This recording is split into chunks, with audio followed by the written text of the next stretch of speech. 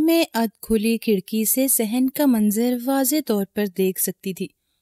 मेरी उम्र उस वक़्त बारह साल थी, जब पहली बार मैंने अपनी माँ को चौधरी के साथ देखा था।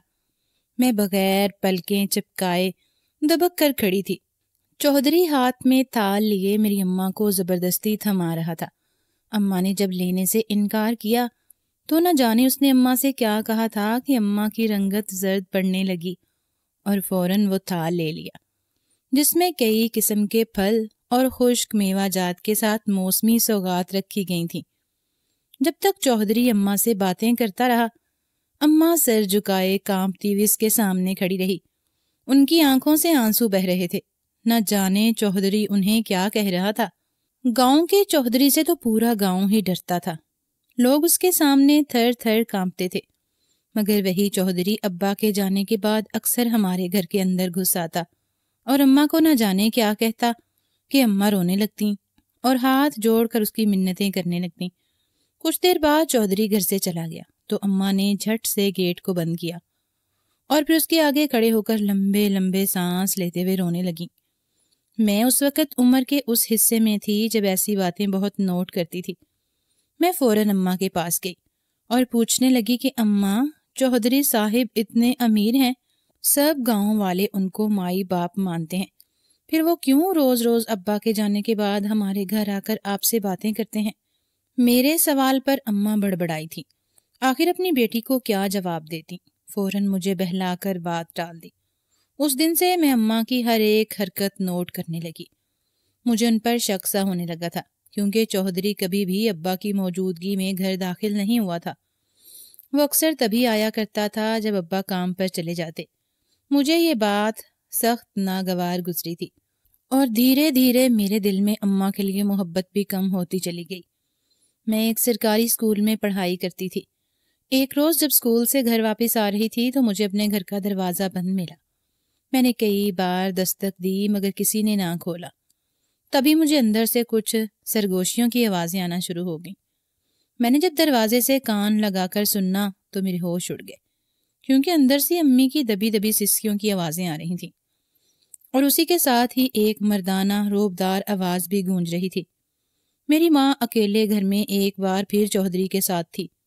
मेरे सब्र की इंतहा हो चुकी थी। मेरी आँखों से आँसू बहने लगे और दिल में शदीद गुस्सा भरा था। मैंने दरवाजे पर दस्तक देना छोड़ दी और वही एक तरफ़ होकर खड़ी हो गई। मैं सोच चुकी थी कि अब उनके बारे में अब्बा को ज़रूर बताऊँगी। वो कैसे उनकी पीठ पीछे उनकी अमानत में खयानत कर रही हैं। कुछ देर बाद दरवाज़ा खुला और चौधरी घर से बाहर निकल आया। वो घर से बाहर निकला तो मैं शोला बाज नज़रों से घर के अंदर दाखिल हुई।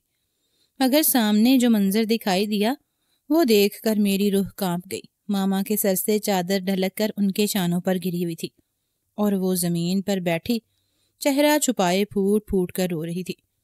मेरे दिल में माँ के लिए शदीद गुस्सा था, मगर जब उनको उस हालत में देखा तो मेरा सारा गुस्सा झाग की तरह बैठ गया और मैं भाग कर उनके पास गई और उनसे पूछने लगी कि आखिर उन्होंने क्या किया है, क्या कहा है चौधरी ने उनको। अम्मा तो पहले टालती रहीं, मगर जब मैंने उनको अपनी कसम दी तो वो मुझे देखने लगी और फिर जो बात उन्होंने मुझे बताई, वो सुनकर तो मेरे होश ही उड़ चुके थे। जब से अम्मा ब्याह कर इस गाँव में आई थी, तब से ही चौधरी की माँ पर नज़र थी। वह माँ को बार बार कहता कि वो अब्बा से तलाक ले ले और मुझसे शादी कर ले। वो उनको दुनिया की हर खुशी और आसाइश देगा, जो अब्बा उन्हें आज तक नहीं दे सके। अम्मा हर बार मना कर देती और उन्हें चले जाने का कहती। मगर अब तो वो धमकियाँ देने पर उतर आया था। वो अक्सर अब्बा के चले जाने के बाद हमारे घर में ज़बरदस्ती घुस आता और अम्मा को कहता कि वो अब्बा से तलाक ले ले और चौधरी से शादी कर ले। माँ ने मुझे जब ये बताया तो मुझे हैरत का एक झटका लगा था। मेरी अम्मा तो थी भी बहुत ही खूबसूरत और पुरकशिश भी। मैं भी बिल्कुल उन्हीं की तरह खूबसूरत थी। उसे मेरी अम्मा के इखलाक से नहीं, बल्कि उनके हुसन से मोहब्बत थी। वो चौधरी तो दस गाँव पर राज करता था। हम कमज़ोर से लोग, भला उसका क्या मुकाबला कर सकते थे? हमने खामोशी से जो कुछ होता देखते रहे, और अब्बा को कुछ ना बताया। कई साल यूँ ही बीत गए। अब तो मैं भी जवान हो चुकी थी, मगर उसके बावजूद चौधरी अभी तक अपनी हरकतों से बाज नहीं आया था। वो खुद दो दो शादियाँ कर चुका था और दोनों बीवियों को ही बहुत मारता पीटता। मेरी उम्र सत्रह साल हो चुकी थी, मगर आज तक चौधरी और अम्मा के बारे में अब्बा को भिनक तक लगने नहीं दी थी कि चौधरी अम्मा के लिए ऐसे ख्याल रखता है। एक रोज़ कुछ ऐसा हुआ जिसके बाद हम सब की जिंदगियाँ बदल कर रह गईं। हमने तो ख्वाब में भी नहीं सोचा था कि माँ का वो इनकार इतनी बड़ी क़यामत हम पर ले आएगा। उस रोज़ अब्बा जो ही घर से निकले तो कुछ देर बाद चौधरी घर में घुस आया। आज तो उसने मेरी मौजूदगी का भी लिहाज नहीं किया था। उसने जो अम्मा को देखा तो उन्हें बाजुओं से झकड़ लिया और बोला कि, साइमा, आज हर हाल में मैं तुम्हें अपने शोहर से तलाक लेने पर मजबूर करूँगा और फिर हम जल्द ही निकाह करेंगे। कई सालों से मैं तुम्हारा इंतज़ार कर रहा हूँ। और तुम्हारे ये ड्रामे में बर्दाश्त कर रहा हूँ। लेकिन आज तुम मेरी बात ना मानी तो मैं तुम्हें ऐसी सजा दूँगा, जिसके बारे में तुम सोच भी नहीं सकती। मैं खौफ से लरसती हुई अम्मा के पीछे जाकर चुप कर खड़ी हो गई। चौधरी ने अम्मा को कई तरह की धमकियाँ देनी शुरू कर दी। मगर माँ की सालों के बाद आज भी सिर्फ़ इसी बात पर मुत्तफिक हैं कि वो कभी भी चौधरी से शादी नहीं करेंगी। उसे पहली और आखिरी मोहब्बत अपने शोहर, यानी मेरे अब्बा से हुई थी। और वो कभी भी अब्बा को धोखा नहीं देंगी। आज जब चौधरी ने अम्मा के मुँह से अपनी इतनी ज़्यादा बेजती सुनी तो वो आग भगोला हो गया। वो कितनी ही देर खामोशी से लब पीछे अम्मा को देखता रहा और फिर गुस्से से बोला कि, सोच लो साइमा, अगर आज भी तुमने मेरी बात ना मानी तो तुम्हें बहुत बड़ा खुमियाजा भुगतना पड़ेगा। अगर तुम तलाक याफ्ता औरत बनकर मेरे पास ना आई तो मैं तुम्हें बेवा भी बना सकता हूँ। अम्मा ने जब ये लफज सुना तो एक लम्हा ज़ाया किए बगैर एक जनाटेदार थप्पड़ चौधरी के मुँह पर मार दिया। थप्पड़ खाकर चौधरी हड़बड़ाकर कई कदम पीछे हटा। उसे तो बिल्कुल भी उम्मीद ना थी कि उसे थप्पड़ पड़ जाएगा। आज तक अम्मा सिर्फ़ मुँह से ही चौधरी को मना कर रही थी। मगर जब उसने अब्बा के खिलाफ ऐसे अल्फाज इस्तेमाल किए तो अम्मा बिल्कुल भी बर्दाश्त ना कर सकी। थप्पड़ खाने के बाद चौधरी कितनी देर माँ को देखता रहा। और फिर गुस्से से बिफर कर घर से बाहर चला गया। उसके जाते ही अम्मा हवास पाकता होकर मेरी जानब देखने लगी और कप कप आने लगी। चौधरी की फितरत से हम सभी वाकिफ थे, बल्कि पूरा गाँव वाकिफ था। उसने तो कभी अपने सामने अपने बाप तक की ऊँची आवाज़ बर्दाश्त नहीं की थी। वो मेरी माँ का थप्पड़ कैसे बर्दाश्त कर जाता? हमें अब्बा की फ़िक्र होने लगी थी। अब्बा तो जाए नमाज़ बिछाकर दुआ में मशगूल हो गए कि मेरे शोहर को हिफ्ज मान में रखना। मेरे दिल में अजीब सी बेचैनी उठ रही थी और रह रह कर ख्याल आया था कि चौधरी अपनी धमकी को सच न कर दिखाए। हम तो किसी अदारे से जाकर मदद की अपील भी नहीं कर सकते थे, क्योंकि सब यही चौधरी का दिया खा रहे थे। उस रोज अब्बा को एक काम के सिलसिले में घर से जल्दी निकलना था। वो मजदूरी किया करते थे और शायद आज काम ज़्यादा था। सुबह जब वो घर से निकले तो काफ़ी खुश थे। उनका कहना था कि आज दिहाड़ी ज़्यादा लगेगी तो पैसे भी ज़्यादा आएँगे। और वापसी पर घर आते हुए वो मेरे लिए मिठाई और अम्मा के लिए जलेबियाँ लेकर आएँगे। हम सब भी बहुत खुश थे। मगर अब चौधरी की बात सुनने के बाद एक अजीब सी बेचैनी और वसवसों ने हमें घेर लिया था। पहली शाम हुई और फिर मगरब की अजान फिजा में गूंजी। यहाँ तक कि ईशा का वक़्त भी हो चुका था, मगर अभी तक अब्बा घर नहीं लौटे थे। मैं और अम्मा दरवाजे के पास खड़ी अब्बा का इंतज़ार कर रही थी। हमें तो ये भी नहीं पता था कि अब्बा काम कहाँ करता है। वक़्त के साथ साथ हमारी बेचैनी मजीद बढ़ती चली जा रही थी। दिल था कि इतनी तेज़ी से धड़क रहा था, गोया सीना चीर कर बाहर आकर गिरेगा अंधेरा हर सू फैल चुका था कि कुछ देर बाद दरवाजे पर दस्तक हुई। मेरी खुशी की कोई इंतहा ना रही। एक सुकून सा उतर गया था। मैं भाग कर गई और दरवाज़ा खोलने लगी। मगर जो ही दरवाज़ा खोला तो सामने अब्बा नहीं थे, बल्कि सफ़ेद यूनिफॉर्म में दो नौजवान लड़के खड़े थे। जिन्होंने चेहरे पर मास्क लगा रखे थे। उनके पीछे भी चार पाँच लोग और भी मौजूद थे, क्योंकि हमारी गली तंग थी, इसलिए बड़ी गाड़ी उसमें दाखिल नहीं हो सकती थी। आहिस्ता आहिस्ता आस पड़ोस के लोगों का वहाँ पर रश लगने लगा, और मैं हैरत से यकटक उन लड़कों को देख रही थी। उनमें से एक लड़का गला खंगार कर मुझसे कहने लगा, कि हमीद अहमद नामी शख्स आपका क्या लगता है? अपने बाप का नाम उनके मुँह से सुनकर मेरी रीढ़ की हड्डी में सनसनी सी दौड़ चुकी थी। मेरे रोंगटे खड़े हो चुके थे। मैं मुश्किल बोली कि, जी, वो मेरे अब्बा हैं। मैं जानती थी वो उससे आगे क्या कहने वाला है। मगर उसके बावजूद मैं सुनना नहीं चाहती थी। उस शख्स ने कहा कि हम माजरत ख्वाह हैं। आपके अब्बा एक रोड एक्सीडेंट में मारे जा चुके हैं। आज शाम को ही एक ट्रैक्टर उन्हें कुचल कर चला गया। हमें आपका पता मालूम नहीं था, इसलिए आते आते देर हो गई। हम पर तो जैसे दुखों का पहाड़ टूट पड़ा था। वो मैयत सहन के बीचों बीच रख कर जा चुके थे। मैं और माँ कितनी देर सकते में आकर अब्बा की मैयत को देखते रहे। चौधरी ने जो कहा था वो सच कर दिखाया था। अब्बा को मारा गया था। चौधरी को मारा गया थप्पड़ जिसके अंजाम में। अब अब्बा की मैयत की शक्ल घर तक पहुँच चुकी थी। हमारी दोनों की हालत गैर हो चुकी थी। हमारा तो वाहद सहारा है। हमारे अब्बा थे। जिनको चौधरी ने मार दिया था, अब तो उसे खुली इजाज़त थी। वो जब चाहे हमारे घर में घुस आए। हम इतना रोए कि अम्मी तो बेहोश हो गई। सारी रात हम दोनों की रोते हुए गुजरी थी। मेरी मासूम और बेगुनाह अब्बा मारे जा चुके थे, जिसकी वजह सिर्फ़ और सिर्फ़ वो चौधरी था। मोहल्लेदारों ने अब्बा को दफना दिया और हम दोनों माँ बेटी घर में अकेली रह गईं। चंद रोज लोगों का आना जाना लगा रहा और फिर हर सो एक खामोशी सी छा गई। पूरे घर में हम बेटी अकेली रह गई। चौधरी एक बार फिर हमारे घर आया और आते ही हंस कर कह के लगाने लगा और हमारे जज्बात का मज़ाक उड़ाने लगा और फिर बोला, कहा था ना साइमा, मुझसे शादी कर लो। मान लो बिला वजह गरीब मजदूर को मेरे हाथों से मरवा दिया। अगर तुम आसानी से मान जाती तो वो मजदूर कभी भी ना मारा जाता। आज तक ज़िंदा होता। अम्मा ने जब ये सुना तो उनकी आँखों से आँसू जारों की तार रोने लगे। उनकी हिम्मत अब मजीद बढ़ चुकी थी। उनकी आँखों में आँसू थे और उसके साथ गुस्सा भी था। वो एक बार फिर चौधरी की तरफ़ बढ़ी और फिर बोले, तुम जिस हद तक जा सकते हो, चले जाओ। मैं फिर भी तुम्हारी बात नहीं मानूँगी। मैं सारी ज़िंदगी हमीद की बेवा बनकर गुजार दूँगी, मगर कभी भी चौधरी से शादी नहीं करूँगी। चौधरी पर एक बार फिर अम्मा के अल्फाज कारी जरब लगा चुके थे। अम्मा की हिम्मत और दलेरी पर वो हैरान होकर रह गया। उसने जब अम्मा को देखा तो फिर एक नज़र मुझ पर डाली और सर से पाँव तक मेरा जायजा लेने लगा। अम्मा ने जब उसकी नज़रों को मेरे गिर्द घूमता देखा तो माँ के चेहरे का रंग उठ चुका था। चौधरी की नज़र में इस कदर बेहयाई और बेबाकी थी कि मुझे खौफ महसूस होने लगा।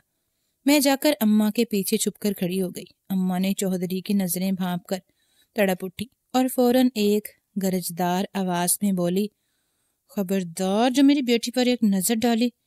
मैं तुम्हारी आँखें नोच लूँगी। तुम्हारा वो हशर करूँगी कि तुम कभी ख्वाब में भी नहीं सोच सकोगी। उस पल चौधरी मुसलसल मुस्कुरा रहा था और फिर बोला, अगर तुम चाहती हो कि मैं वो ना करूँ जो तुम समझ पा रही हो तो बेहतर है कि जो मैं बात कर रहा हूँ वो तुम मान जाओ। पहले तो बात अब्बा की थी जो कि अब मर चुका था, मगर अब बात मेरी इज़्ज़त की थी। चौधरी जैसा कमीना शख्स कुछ भी कर सकता था। अम्मा ने उस पल ना जाने दिल पर कैसे पत्थर रखकर चौधरी की बात मान ली। अम्मा के मुँह से शादी के लिए हाँ सुनकर चौधरी तो फूले ही नहीं समा रहा था। उसका बस चलता तो खुशी से पूरे गाँव में शादियाने बजा देता। अम्मा की इद्दत भी पूरी नहीं हुई थी। वो कैसे ऐसा कर सकती थी? मैं जानती थी कि वो मजबूर हैं और सिर्फ़ मेरी इज़्ज़त बचाने की खातिर चौधरी के लिए हाँ कर दी है। जैसे ही चौधरी घर से निकला तो अम्मा ने फ़ौरन मुझे कमरे में बुलाया। और सारा ज़रूरी सामान पैक करवाने लगी। मैं हैरत से माँ को देख रही थी, मगर अम्मा मुझे कहने लगी कि अपना सारा सामान बैग और पोटली में बाँध कर रातों रात गाँव छोड़कर दूसरे शहर चले जाएँगे, जहाँ पर चौधरी जैसा खबीस कभी नहीं पहुँच सकेगा। उस वक्त यही बेहतर लगा था। चनाचे हमने कुछ ही देर में अपना सारा ज़रूरी सामान पैक किया। कुछ पैसे लिए और रातों रात खुद को चादर में लपेट निकल आए। हमें लगा था कि शायद अब सब कुछ बदल जाएगा। और हम पुरसकून ज़िंदगी गुजार सकेंगे। मगर ये तो सिर्फ़ मेरी ही सोच थी। जो ही बस अड्डे पर आई तो लोगों का एक रश लग गया।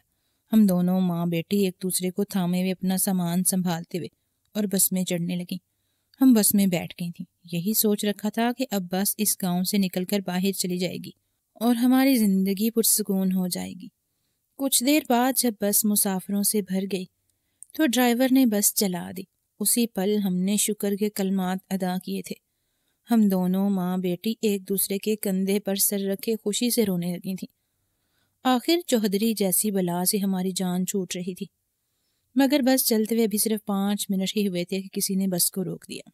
हम माँ बेटी के होश उठ चुके थे, क्योंकि बस को रुकवाने वाला और कोई नहीं, बल्कि चौधरी था। उसके खास बंदों ने बस ड्राइवर को गाड़ी से नीचे उतारा और ड्राइवर को खड़े खड़े कई लोगों के सामने गोली मार दी। ड्राइवर वहीं तड़प तड़प कर दम तोड़ गया और लोगों की चीखों पुकार बुलंद हो गई।